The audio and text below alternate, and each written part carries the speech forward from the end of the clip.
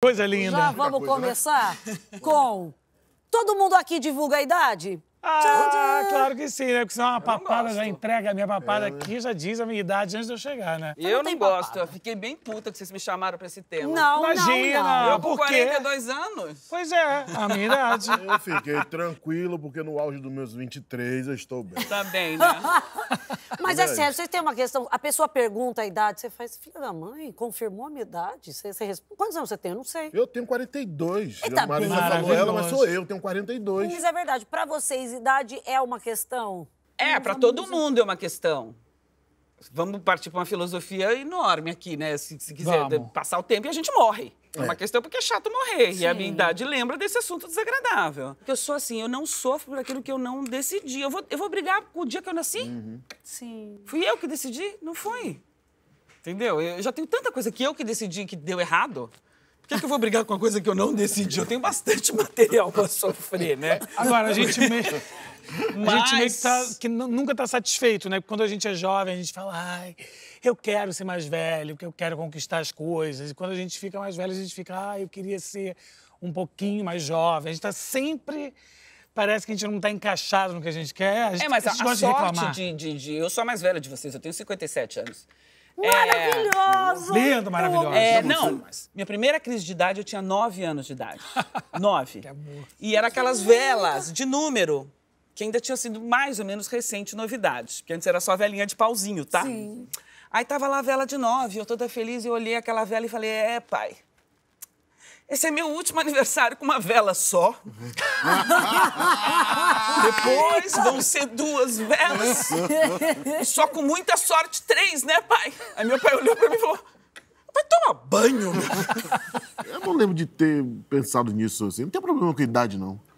Eu acho que é porque também eu comecei muito cedo. Eu faço, comecei teatro muito cedo, então eu misturava, muito, misturava com a galera mais velha. Então, pra mim, eu era sempre o mais novo da parada. Então, eu nunca parei pra pensar nisso. Mas é engraçado que, nos, nos tempos pra cá, nos últimos dois anos aí, com pandemia e não sei o quê, eu tive tempo suficiente pra pensar em um monte de coisa, inclusive na minha idade. Eu fiz 42 agora, tive a honra de fazer 40 anos, assim, no carnaval. Né? Celebrei os 40 anos no carnaval. Mas aí, quando eu fiz 42, agora que eu disse, rapaz, tô perto dos 50. Já, tá Exagerei. perto? Tá Nossa, Exagerei. mas pera um minuto, tô Exagerei. perto É, do cinco- é, foi- mas assim, em casa parado, cabeça parada, oficina do diabo. Então Sim. comecei a pensar um monte de coisa. Depois disse, ah, gente, relaxa. Aí, É porque a pandemia deu uma sensação que Deu uma pausou a nossa vida e você É. faz. E não tô viajando, e não tô fazendo filme, e não tô trabalhando, É. e não tô. E aí É. do nada, já fiz 42, tá vendo? O tempo tá passando, eu tô aqui trancado, dá uma acelerada quando também, tá né? começando a movimentar o negócio, eu disse, não, 42 tá bom, deixa aí, tá ótimo. 50 tá distante. Mas você tô- nunca teve, então, uma- essa Não. sensação de estou ficando velha. Essa foi a primeira vez. Não, não, é a primeira vez que eu parei pra pensar nisso aí. Mas devia, porque eu vou te falar, eu sugeri uma bengala, tá nada, tá ótimo. Agora, é. eu, eu tô com 39 e pela primeira vez eu tô pensando na minha velhice, onde eu vou morar.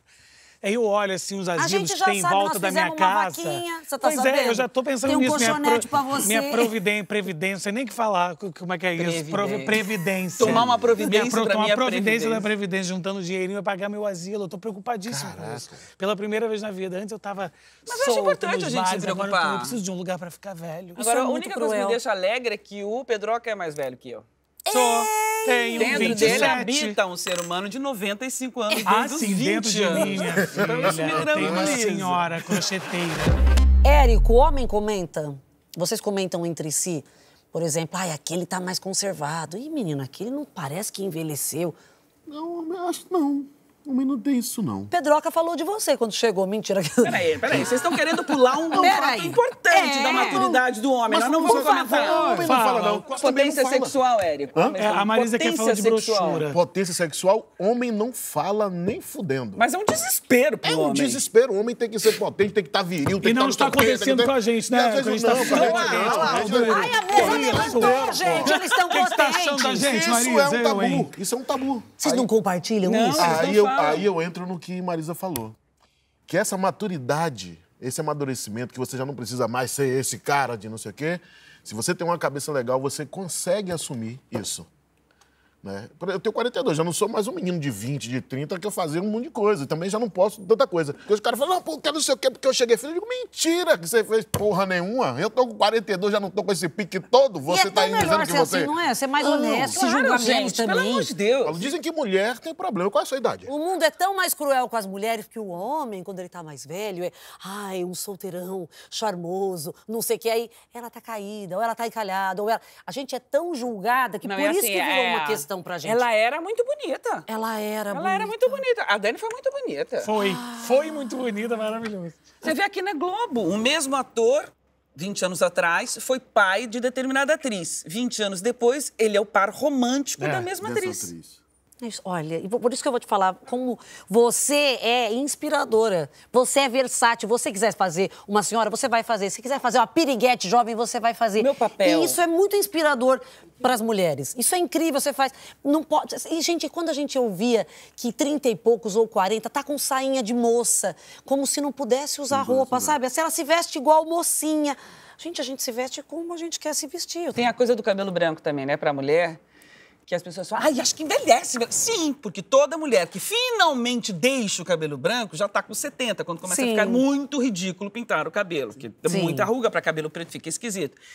Se as mulheres, ainda bonitas e gatas, deixassem o cabelo branco, ia ter um monte de mulher de cabelo branco gata. Isso. É, e quem é que tem coragem? E a gente Eu ia não. se espelhar, e a gente não ia se sentir mal, tinha que normalizar isso também.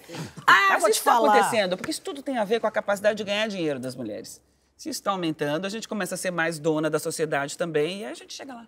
Agora, com 39 anos, porque eu estou apaixonada. Graças E aí, minha linda? Vamos, vamos puxar a terapia aqui? Vamos! Eu separando com 35, 36, eu ia na ginecologista, a gente aberta ali, né, É, o negócio do filho, é. exame com, ai, o beco de pato, só te abre igual a sacola do supermercado, a mulher me perguntando coisas assim, você não quer engravidar? Eu pensava, queria estar feliz, queria estar com um parceiro, não sei, não estou pensando nisso agora, mas tem que pensar, porque 35, 36, As- as 37, estatísticas. você tem que congelar óvulo, porque lá embaixo, amor, aqui o nosso loucura. uterinho, no que já menstruou, já começa a envelhecer, perde a qualidade dos óvulos e aí começa uma corrida contra o tempo.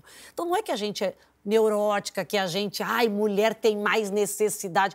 Não, Não, é não, é isso. um fato. A gente fala sobre isso porque é uma realidade. A gente vai secando e agora fiz o quê?